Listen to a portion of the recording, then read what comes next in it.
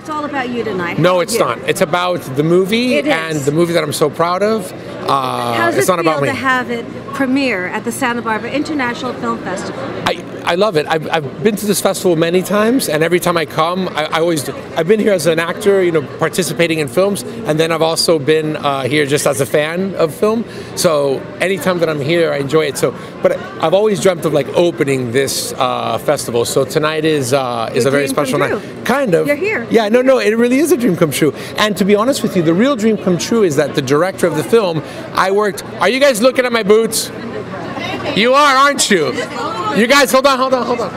Let's go down to Like what you see. There we go. So, the director of the film, I've known her for almost 26 years, and she was my first, uh, the first person, Michelle Danner, the first person that ever believed in me. So, for me, it's such a Was she thrill. your acting coach? Uh, she was everything to me, not just an acting coach. She was a source of, of uh, inspiration, she support. Uh, she loved me. She was very kind to me. Um, And now you're in the film.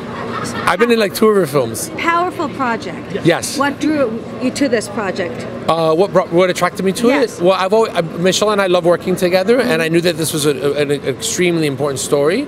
So I, uh, when we when we started to talk about it, I was like, no, I want, you know, of course I want to do this. But I was working on another job at the same time, so there was.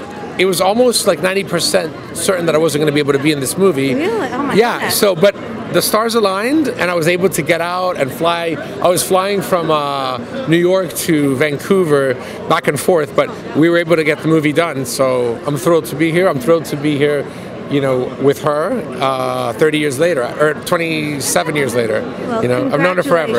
Yeah. Wonderful night. Thank you so much. Enjoy. Thank you. It was lovely to Bye. meet you. Bye. Lovely to meet you too.